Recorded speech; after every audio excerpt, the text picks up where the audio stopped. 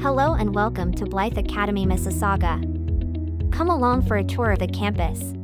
Visitors can enter from the back parking lot through the elevator lobby. Once off the elevator, a quick right turn and then another leads to our school reception. Everyone who enters the reception area is greeted by our friendly campus administrator and principal, who is often checking in with students. Close by is our student lounge, where students take time between classes to recharge and socialize.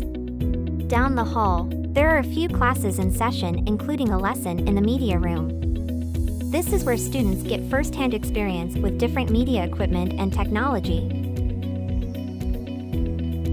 First stop across the hall is our science lab.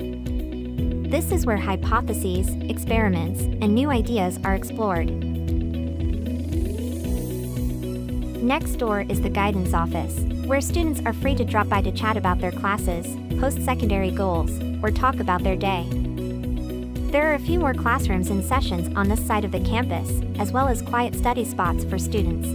For your own private in person visit, contact the campus at 905 990 2855.